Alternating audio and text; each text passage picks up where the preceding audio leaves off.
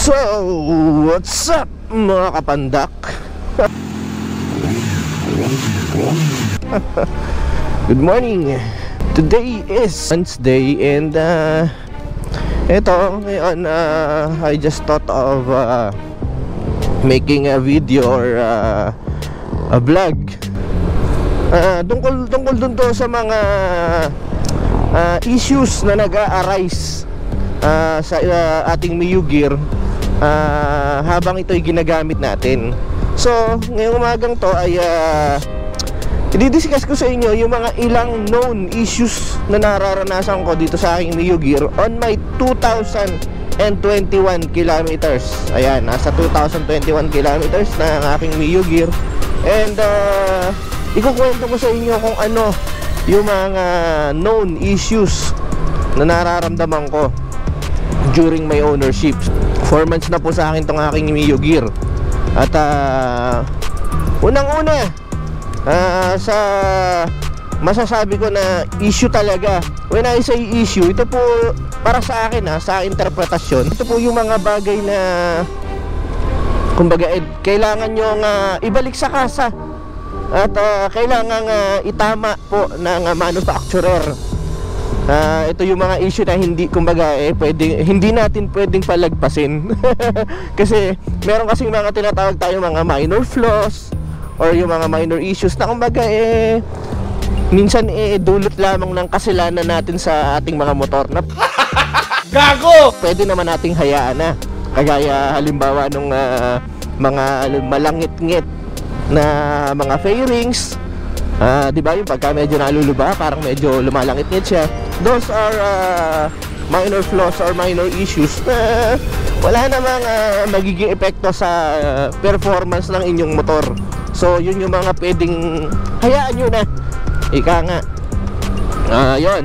Uh, tapos halimbawa yun, isa pa is yung uh, madalas na nagiging uh, usapan is madali daw magasgas itong parte na to. Itong dibdib at saka chan ng ating uh, Mio Gear.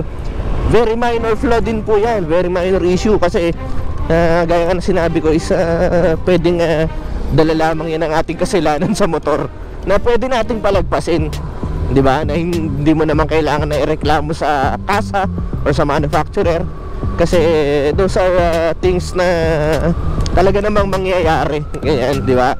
Wala pong uh, magiging epekto 'yan sa takbo ng inyong motor. It won't uh, affect the performance. Ayan. And uh, safety as well, okay? So, ayan.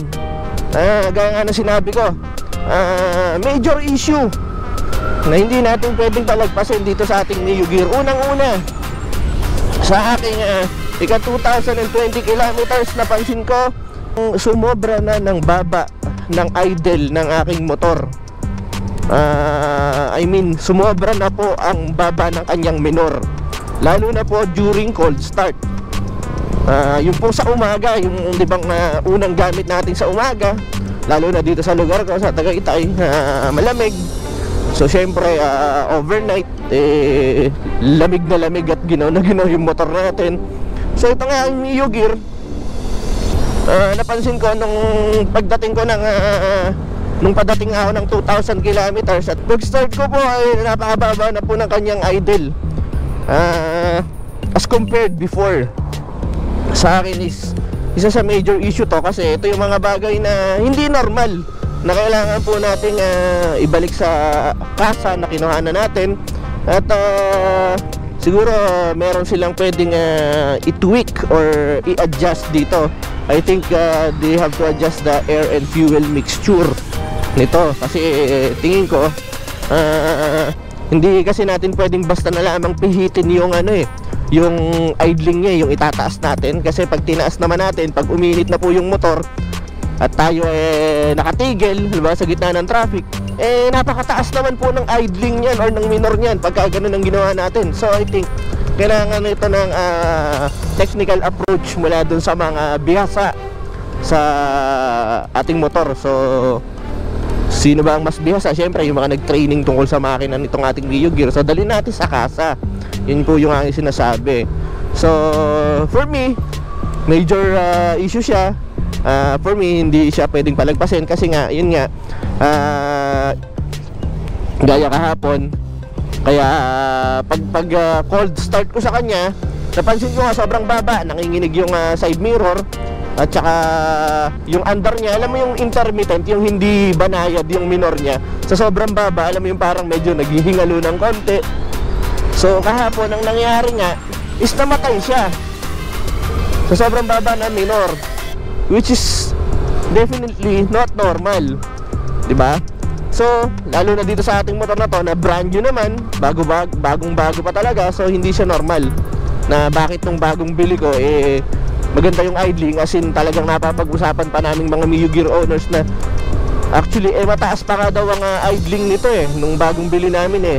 Yung iba nga eh nagrereklamo pa bakit daw ang taas ng idling. Baka daw malakas sa gas. Gusto pa nilang i-adjust at pababain. So, so ang in-advise ko pa nga sa kanila eh ah, i-break in nyo, baka naman magno-normal yung idling niya. Eh, itong sa akin nga, sumobra pa sa, sumobra naman ng baba after that, after the break-in period, di ba? So, ah, yun nga, gaya ng sinabi yun sa akin kahapon is namatay sa sobrang ah, baba ng idling after after a few seconds na naka-idle siya ah, namatay siya. So uh, in-start ko siya namatay ulit as in hindi siya agad nag-start. Tinry ko uli for another uh, crank. Nag-start tas namatay uli on the third uh, try ginawa ko uh, binomba ko ng konti yung silinyador at itinakbo ko na. Tapos hindi na uli siya nag-reoccur hindi na siya namatay. So again hindi siya normal. So if you guys uh, experience this kagaya nung na-experience ko kahapon na sobrang baba ng idling at namamatay ibalik nyo po sa kasa at ah, ipa-adjust nyo po doon sa mga mekaniko sa mga technician doon sa kasa Ah, they know better. Ah, wag nyo pong ah, sa akin lang ha, advice ko sa inyo wag nyo dalhin doon sa ano sa mga gilid-gilid na shop. For the meantime ha habang naka under warranty pa yung motor nyo kasi syempre mas kabisado po yun ang kasa EFI na po yung makina natin. So if ever na sumablay yung ah, kasa sa kanilang uh, mag-adjust at least sila yung gumalaw. Di ba sila yung dapat magtama nun kasi papa-adjust nyo naman sa kasa yan wala naman kayong babayaran. So that's one issue. And uh, panoorin nyo tong video na i-insert ko. Ito yung kuha ng video ko kahapon ng cold start nung hapon. At saka ngayong umaga just a few minutes ago makikita ko sa inyo kung gaano kababa talaga yung idling okay?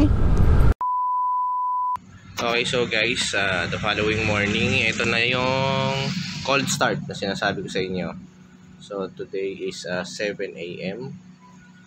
So, cold start tayo. Wait lang. Signal. So, ayan yung cold start niya guys. Marinig ko sa inyo. Ayan yung idling niya. Sobrang baba ng idling oh. Kasi nakita nyo, nanginginig yung ano.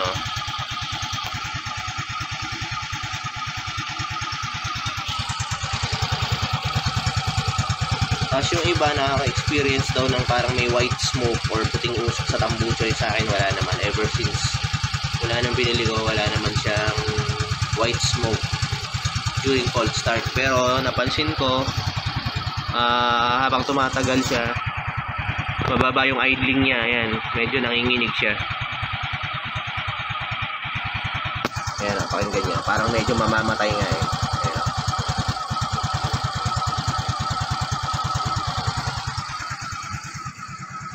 So ayan. Ayan kita niyo yung ano niya oh, nanginginig siya oh. cold start yan. So sobrang baba ng idling. As compared nung bagong bili ko siya ah, na hindi naman ganyan kababa. So, hindi ko alam kung bakit habang tumatagal, bumababa yung idling niya or yung minor niya. Ayan na parang mamamatay na. Ayan o. Ayan. Parang mamamatay na siya. Takas ng inig. Ayan. Dito sa side mirror, kita niya, nanginginig siya. oh. Ayan o. Hindi kasi normal yan. Ayan. So, i-off ko ah. Tapos, start ko ulit.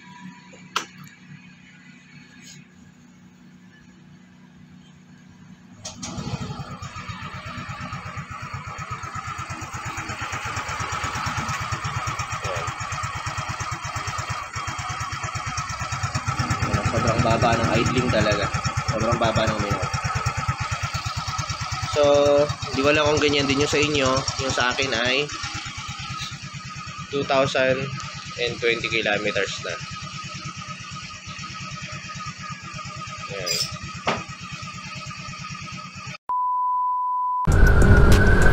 So ayun. Nakita nyo na yung video, di ba? Sobrang baba talaga. Nanginginig. Kita nyo naman sa side mirror. Nanginginig yung side mirror niya. Ah, ganun siya kababa. Tapos yung under niya, parang medyo naghihingalo. So yun yan. So another issue. Move tayo sa ah, second issue niya. Ah, ito naman, madalas ko nang madiscuss sa inyo at syempre na-experience na din ng iba. Ah, yung pong ah, inaccurate reading po ng ating fuel gauge. Yon. So, ah definitely inaccurate po or hindi accurate yung ah, reading ng ating fuel gauge. Kasi nagkarga ako ng gas the other day.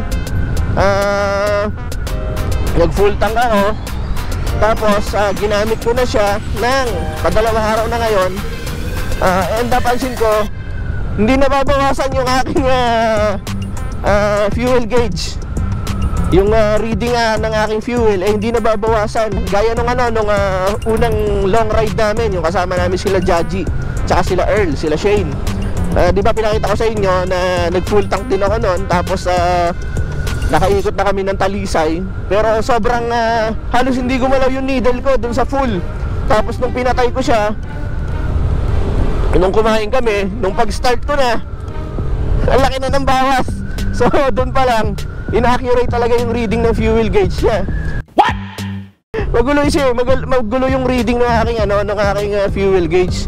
And uh, most of my uh, group mates sa Mio Gear eh ganun din na na-experience nila na talaga daw inaccurate or hindi accurate yung uh, reading ng ating fuel gauge. So this is one of the major issue na hindi natin pwedeng ipagsawalang bahala. Kasi unang-una halimbawa maglo-long ride ka fuel tank mo. So gaya ng na-experience ko nung uh, first long ride namin na akala ko hindi nababawasan sa, ta- sa dami na nung napuntahan namin sa haba na ng tinakbo. Di ba? Tapos pag pinatay mo pag on mo ulit konti na pala or malaki na yung nabawas. So di ba from there ah it's very risky. Di ba? Yung ah, tuloy-tuloy ka sa pagmamotor akala mo ay marami ka pang gas tapos bigla na lang palang patirik ka na. So di ba Ah, ang ma-advise ko po guys pagdating dito sa ah, isang ah, issue ng ating EU gear is ibalik nyo mo sa kasa at sabihin nyo dun sa mga mekaniko nyo dun na i-resolve yung part na yon ah, ah, it has something to do with the fuel floater sa tingin ko. Ah, maaring ah, yung floater natin is hindi accurate. There are times po na may nakikita ako na may mga floater na nai-stack nai-stack siya. Hindi naman siya nakalubog. Na kailangan mo pang kalugin yung ah, motor mo para umalog yung ah, yung laman ng gasolina para magalaw din yung floater mo at mag-float or maalis sa pagkakastack. So ipasilip nyo po sa kasa. Ayun guys. So that's the second issue. And now for the third issue naman na masasabi ko talaga na major issue din is yung tagtag po ng shock natin sa unahan. Sa likod po wala akong problema. Kaya nga hindi pa ako nagpapalit ng rear shock ko eh. Kasi I find it ah, comfortable naman. Solo ride man ako or may angkas I find it comfortable. Sa front shock po talaga may issue tayo. Kasi unang-una gaya nga nung lagi kong binabanggit sa inyo sa aking mga vlogs ah, nung bagong bili ko tong aking motor bago nung na hanggang sa makarating po siya ng more than 500 kilometers ay talaga namang antigas ng ah, play ng shock niya sa harap. As in talagang ah, alam mo wala kang shock eh. Sobrang tigas. Ayaw yung lumaro. And ah, na-experience din naman yan ng mga ibang kagrupo ko. And ah, ngayon on my uh, nung pagdating po ng aking ika 700 kilometers dito sa aking Mio Gear lumambot na po yung shock ko. Tamang-tama lang sa ah, expected ko na laro ng shock. Kumbaga, naging banayad siya, naging komportable na yung laro sa ng shock sa harapan. On its ah, 700 kilometers up to ah, 1,000 kilometers, naramdaman kong umokay na siya. So, masasabi ko na siguro dahil na break in na yung ah, laro ng ah, shock kaya umokay. Pero, after that guys, nung ika 1,500 kilometers na at ngayon yung naka 2,000 kilometers na ako, sumobra na po ng lambot yung shock ko na halos wala ng laro na talagang tumutukod na siya. Alam nyo yung sa mga tulay, di ba, yung biglang baba ng tulay, lumalagapak na siya. So, ito guys, papakita ko sa inyo yung sinasabi ko sa inyo na sobrang ah, sumasagad na yung shock ngayon ng aking Mio Gear. So ngayon naka side stand siya. Tingnan niyo pag inupuan ko. Ayan oh, tingnan niyo yung shock ko ah. Sobrang lambot na niya. Tapos susubukan kong angatin ng kamay ko sa handlebar, ayan. Tapos pag umupo ako, ayan. Ayan. So imagine niyo guys pagka na kahit mild na lubak guys lumalagotok na siya or sumasagad na yung shock ko sa harap. Sobrang lambot which is not normal. At again sinabi ko sa inyo ito ay major issue. Isang bagay na hindi natin pwedeng palagpasin. So ang advice ko sa inyo guys is ibalik nyo sa kasa at ipa padagdagan nyo po ng fork oil. And guys kung kayo po ay magpapadagdag ng ah, fork oil sa shock nyo sa harap ah, I strongly advise na sa kasa po kayo magpagawa. Ah, pag sa kasa kasi, unang-una, i-consider po natin yung ating ah, warranty. Bago pa yung Mio Gear natin, so definitely under warranty pa yan. So it's better po na kung may papagalaw kayo, sa kasa nyo po muna ipagawa. Ah, unang-una is ah, yung po kasing pagdagdag ng fork oil is a trial and error na process yan. Ah, kasi syempre, iba-iba yung ah, bigat nating mga rider. So, titimplahin niya po ng kasa kung uh, gaano kadaming fork oil yung idadagdag nila para mag-compensate dun sa bigat natin para ah, umakma dun sa laro na na, na kailangan ng shock para dun sa bigat ng rider. So, kaya po sinasabi kong trial and error yan. Siyempre, dahil under warranty, ah, kung tri- at trial and error, maaring uh, pag ah, sali ng fork oil nyo at ginamit nyo, ah, sobrang tigas, kasi magaan lang pala kayo. So, may tendency na bumalik kayo at pabawasan nyo ng konti para lumambot ulit ng konti. So, ganun po yon So, mas maganda na sakasan nyo ipagawa para hindi kayo bayad ng bayad. Kasi syempre, pagka kailangan yung ibalik at ipaulit, ah, hindi na kayo pagbabayarin kasi syempre, eh, lalabas na isa siyang back job or ibang individual service provider na nag-o-offer ng ganong services ah, na nakita ko is masyadong mahal 700 or 700 up or something. Eh, pero syempre guys, nasa ah, choice nyo naman yan eh. Kung gusto nyo bumayad ng ganon, at may pambayad naman kayo, so nasa inyo yan. Ang sa akin lang po is ah, under warranty tayo, so pangalagaan natin yung warranty natin. Mahirap din kasi makipag-argue sa kasa pagka yung pinagalaw natin sa labas, tapos ipapa galaw natin sa kasa kasi hindi na resolve ng ah, service provider na nasa labas. So yun lang po. Ah, again, pag sa kasa kasi 250 lang ang bayad dyan kasi nung may Aerox pa ako 250 lang ang bayad ko sa padagdag ng fork oil. 3 times ko pinagawa yon ah 250 lang po yung binayad ko. Ah, hindi na ako pinabayad nung mga nung ibinalik ko. So sa ngayon sa tingin ko ganun pa rin naman ang ah, labor charge nila. So, mas malaking katipiran as compared po dun sa 700. So, yun guys, again, choice po yun, ninyo yon Ang sa akin naman po is advice lang. Okay? Ayun, yun po ang solusyon dyan. Kagaya po kasi ito ng issue ng Aerox nung bagong labas yung Aerox. May Aerox din ako noon. Parang lambot din ng shock nung ah, Aerox ko noon. Nung unang nakuha ko sa kanya, sobrang tigas. Halos ayaw ding lumaro. Tapos nung ah, tumagal, sobrang lambot naman na tumutukod. Ganun na ganun din po ang nangyayari dito sa Mio Gear natin ngayon. Ah, and ah, alam ko yung mga ibang uh, Mio Gear owners na umabot na rin sa ganitong uh, mileage eh nararanasan na rin po yung ganitong issue. So, yun lang guys and ah, please comment down below kung uh, naranasan nyo din at ah, at nang ma ma-share ko sa inyo yung ah, solusyon na naiisip ko. Muli, salamat sa inyong pagsuporta, salamat sa panonood nyo. And uh, if you're not still subscribed to my channel, I hope you do subscribe. I hope you like, share, and you click that notification bell para maging updated kayo sa mga ibang videos na ilalabas ko. And so again guys, I hope you all uh, stay safe. I hope you all ride safe. And I'll see you on the next one. Ciao.